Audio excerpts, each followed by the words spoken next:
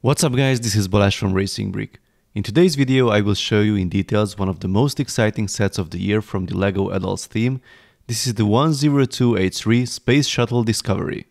Yes, I mentioned LEGO for adults and not 18 plus or creator expert. Apparently this will be the new name of this theme. It does not appear yet on lego.com, but you can expect it soon. So, to make this review even more interesting, I will have a guest here.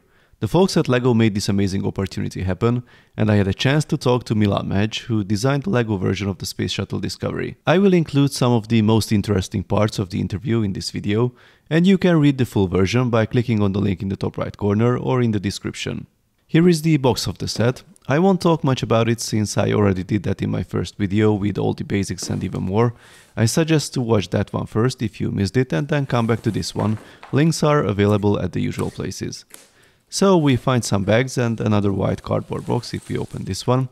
Altogether there are 18 numbered bags, an unnumbered one and a manual with the sticker sheet and other accessories. The sheets are quite interesting. There's a classic sticker sheet mainly for the plaques on the stands and the smaller ones identifying the discovery. Then there's the shiny metallic sheet for the cargo bay door cover and finally the plastic sheet for the Hubble solar array. The manual is pretty minimalistic. I could imagine a more attractive photo on the front. We get some information at the beginning about the space shuttle and the STS-31 mission itself with the deployment of the Hubble Space Telescope. A few thoughts from Milan and interestingly a short paragraph about the future of NASA space missions without the space shuttles. Here are the building phases and surprisingly we get two additional pages afterwards about the Hubble Space Telescope. Unfortunately the manual still uses the black background, as LEGO promised to stop this in future releases, I'm looking forward to see the first LEGO for Adults set with a different design. Time to start building. The process begins with the stand for the Hubble, and if you like very different LEGO pieces seamlessly connected at wacky angles, then you will already love this build.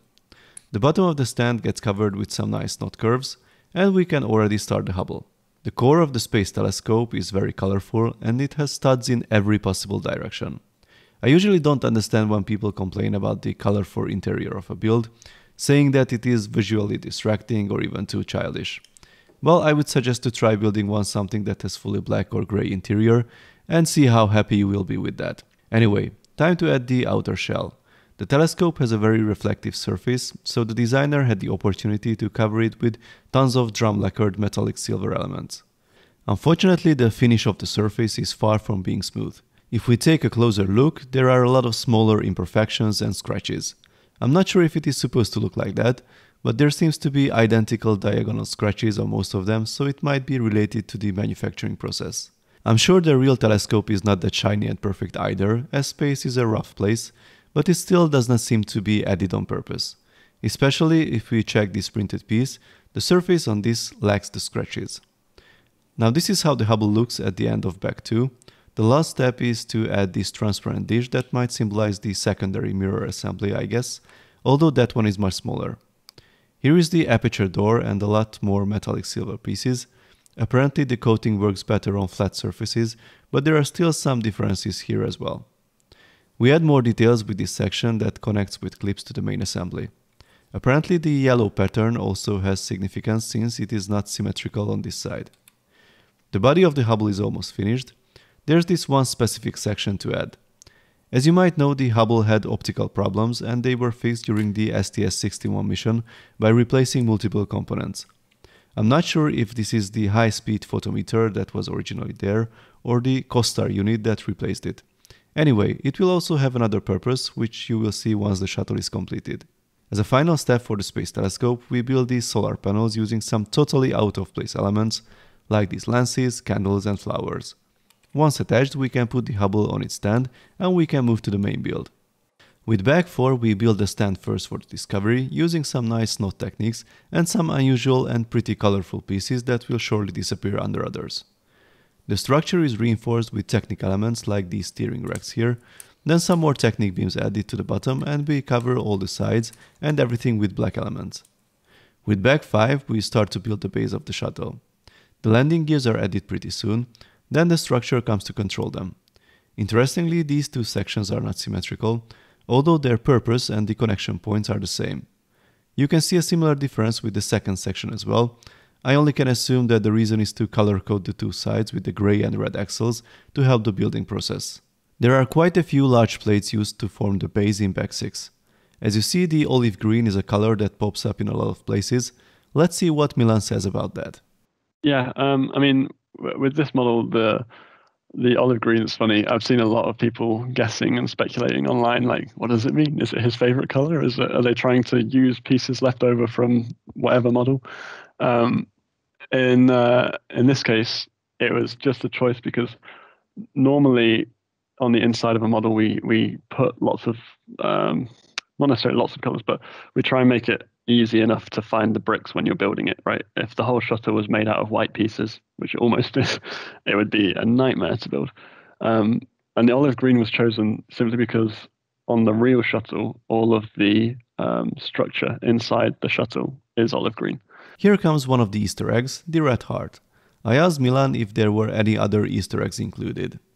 I mean, the olive green, I think, is probably the the big one, um, which only a few people have figured out. Um, but there's also some weird stuff inside, like uh, there's a, a, a, classic space slope printed in, inside the model because we had it available and we thought um, it's a space set, so it probably should have it. It's the one with the kind of uh, the grills on it uh, that's in all the old uh, 80s space stuff. Um, and there's also the point in which you connect the um, the stand to the base of the shuttle. Um, inside has this kind of interesting tile arrangement, which is uh, we swap the colors to make it look like the uh, the symbol for uh, center of mass. So so it's um yeah a little bit of a, a engineering nod. Yeah. This will become the leading edge of the wing with the black at the front and the beginning of the dark bluish gray section symbolizing the reinforced carbon part. This yellow hinge seems to be weird for the first sight as it cannot move, but it will make sense soon. The attachment of the edge to the main structure is pure genius. You can see how the functional hinge and the plate with the hole holds it in place, but there's also that small section of the other built-in hinge and also the small wing piece that sits on the other plates and they are also held in place by other pieces from top. An amazing usage of pieces that have a completely different original function. Another creative solution if there's no studied 2x2 triangle piece available to fill that empty section Let's use an upside down tile instead with a funky structure that holds it in place. The rest of the reinforced carbon fiber edge is added as well, with a similarly creative support structure. There's one fixed attachment point, and the rest sits on the lower plates and also secured in place with the huge upper blue triangular plate. The last items to add from BAG 7 are the tips of the wings. The main build of BAG 8 is the mechanism that will deploy the landing gear. I'm not really sure about the asymmetric pattern on it, as I did not see anything similar on the photos of the real shuttle. If you know what it represents, please let me know in the comments. The front landing gear is added, it also has a shock absorber helping the deployment. What is really interesting is how Milan replicated one of the unusual properties of the space shuttle. Once the landing gear is deployed, it cannot be retracted with the same mechanism, and here you can see that this is the case with the LEGO version as well, at least it is already visible at the front. BAG 9 can be completed very quickly with a few white pieces, tiles and plates, almost the entire wing gets covered and the colorful guts will disappear. The rear landing gear is now also connected to the deployment mechanism, and after we add these clever stoppers it is fully functional, and it works the same way for all wheels. They can be deployed but had to be retracted manually. It's a fantastic mechanism using the least amount of space possible, no surprise that this was the biggest challenge to design according to Milan. Yeah, and uh, I I keep keep going back to the landing gear. It was just boy that was tough.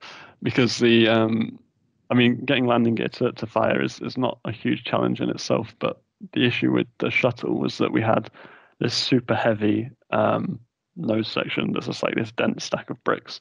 And then the engines and the tail and the wings are also like a super heavy stack of bricks. And then everything in between has to be totally hollow uh, to to fit the telescope in. So we had a problem with uh, getting it structural so that it was super strong in the middle, so that it would support itself. Um, but also, uh, you know, how do you how do you get the front and the rear landing gear to be coupled to be triggered at the same time without taking up any room in the middle of the model? um, so we had so many different versions of trying like uh, you know, should the landing gear come down on worm gears or should there be a, a lever that and in the end, we we settled for just um, for putting springs and, and just having this button on the back that fires everything at once because it allowed us to keep the inside of the payload bay as empty as possible. Mm-hmm. And we wanted to get the Hubble to be accurate to the correct scale as well. So it was important for us that we still had that that full room inside the bay. Here's a very clever complex assembly that could have been easily a stickered panel otherwise, but it looks so much better when brick built. Here's another bigger section full of SNOT building. It is quite a challenge to guess the purpose of all the connections, but once we put it in place, we suddenly start to respect the ingenuity of the designer. The whole assembly is designed to be angled like this, and the central nozzle is still able to control the elevons. After covering the landing gear with these big wedges, we are finished with Bag 10. We get some nice printed bricks with the flag printed in the appropriate direction according to the regulations. The rear section above the shock absorbers gets covered. There are two 1x1 bricks with the usual pinhole, but we get some new ones with the cross-axle hole. This design was introduced this year. Yet another interesting combination of parts that will help keeping the angled rear section in the correct position, but it is not the only one. This next assembly will serve as the base of the vertical stabilizer, but also secures the mentioned rear totally with the clips. This piece will serve as the base of the RMS, the remote manipulator system. This printed 1x1 tile is not exclusive to this set, it already appeared elsewhere as well. I'm not totally sure what does it represent here. Any space shuttle experts who could help me? These 2x2 round tiles should represent the airlock door in the cargo bay, and I think I found a little cheating in the design, I will show you in a minute. 28 1x1 rounded pieces to be aligned here, not the most exciting part of the build. This is the mid deck with this cool tiny blue seat for the fifth crew member and some instruments, and this piece represents the airlock that really opens from the mid deck. Now here's the cheating part. If we check the airlock from the payload bay, it is actually much lower. From this perspective, this is the correct position if we check the reference photos, I guess the limitations of the brick and the structure did not allow to put the mid-deck low enough to align it to the position of the airlock in the payload bay, so this little trick is totally forgivable. Lots of tiny elements can be found in Bag 13. These gold printed instruments will actually belong to the flight deck, I think. This is the KU band antenna used for the communications with Earth, and this is the arm of the remote manipulator system. A few tiny cameras to be added using minifigure jump stands. Here is the brand new piece for the payload bay doors and a few reflective stickers to be applied on the inside. I have to admit, this is by far the worst part of the build for me. Applying the stickers to the concave surfaces is an absolute nightmare.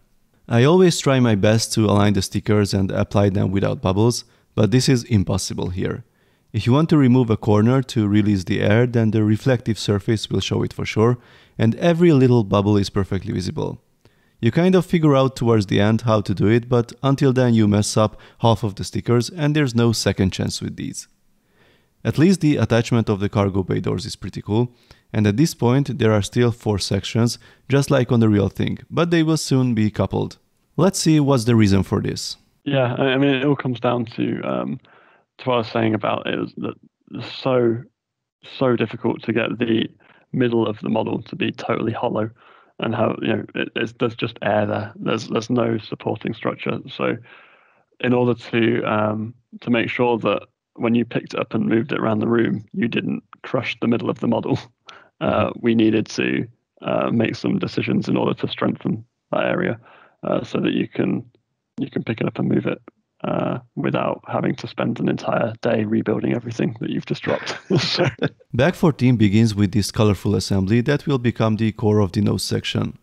The assembly goes pretty quickly, with most of the things being built sideways. I was wondering what is the reason for those clips seemingly doing nothing in there, but here I realized that they will hold the center of the nose section with the elements of the forward reaction control system. I was not sure about the purpose of this weird structure first, but after covering it with the white plates, it quickly became one of the elevons, and the second one is added as well. If you are looking for the new 1x1 bricks with the axle hole, then this set will provide a lot.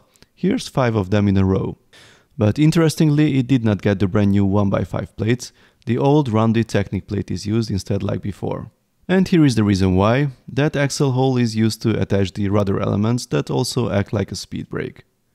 The vertical stabilizer is in place, and this is the end of Bag 15. The orbital maneuvering system and reaction control system pods are quite complex, and the LEGO build is pretty tricky as well. There are a lot of small details to add like the thrusters, but at the end everything fits perfectly. Here is the last bag and we build the flight deck. There are four tiny seats with the proper arrangement and a lot of instruments. Then comes the front and the overhead windows and we can put the flight deck in place. By the way, the crew cabin and the mid deck is Milan's favorite detail on the set. The last items to build are the stand for the Hubble and the rolled up solar panels and we are finished. So here are all of the items we built, just look at all the cool details. As you see, we get a lot of display possibilities. We can use the stands for both the Discovery and the Hubble to display them side by side. Each of them has its own plaque with all the interesting information. Now here's another option, we can use the second smaller stand for the Hubble to put it on display in the cargo bay. We need to change the solar panels to the rolled up ones first, then insert the stand. We need to remove the last piece from the space telescope that covers the connection points for the stand to attach it. The payload arm can be connected to one of the small claw pieces on top that were stored in the stand previously. As you see the arm cannot hold any weight, but the setup looks very cool. I'm not sure if a transparent support could have been better than the black one, but from a right angle it can represent the blackness of space, so I think it is fine. The Hubble can be also stored in the cargo bay, but for that we need to remove these solar panels completely unfortunately. As you can read it in the full interview, this sacrifice was necessary to make the cargo bay section structurally stronger with these additional ribs inside. If you know you will be careful with the model, you can actually change these pieces and then the Hubble will fit with the solar panels as well. So what about the details and functions? Apart from the many details visible outside, we have an easy access to the flight deck and the mid deck as well. The elevons are controlled by the top engine nozzle. I know, based on the range of motion, these are technically ailerons and not elevons, but let's respect the fact that the designer managed to squeeze this here with such limited space available. The rudder can be adjusted manually, and it can be split in two to act like a speed brake, just like on the real shuttle. And finally, the coolest trick that you could see during the assembly, the landing gear deployment. The body flap is used for this, by the way the flap can be also adjusted. The mechanism works flawlessly and you can easily push the wheels back in place manually. So, let's sum it up. As I mentioned in the very beginning, this is definitely one of the most exciting sets for me this year. It looks fantastic, has plenty of details, the building process is enjoyable with lots of clever solutions. There are multiple display options, working functions, a must-have for space and LEGO fans. Can't really mention much on the downside, maybe the pain of applying the reflective stickers on the concave surfaces and the uneven finish on the drum lacquered pieces. But all these are really minor flaws compared to the whole experience, so I would definitely suggest this set to everyone. I've seen some comments about the scale, why it does not match the Saturn V, as at that scale the set could have included the fuel tank and the boosters as well. It's a compromise of scale versus details, but let's see what Milan says about this. Yeah, it's a, it's a compromise, but it was a, a decision that we, we took to say, you know, we, we we always make them uh, like the, the, last few with the the shuttle adventure and expedition. We always make them that kind of size and and um, we if we were to add something new, what's the reason for doing a new space shuttle other than celebrating the 40th anniversary? And the reason is that now we can add in all those extra details because the Saturn V, I think, really elevated the level of accuracy that we uh, should be able to achieve in a, a Lego space set like that. That thing is amazing. So the goal was to not make something that could just sit alongside it as, as in scale, but to sit alongside it in terms of um, the the level of detail and and, and the storytelling. And uh, for a shuttle, to in order to get that detail, you have to go big. So make sure to read the full interview on my webpage, and please let me know your thoughts in the comments.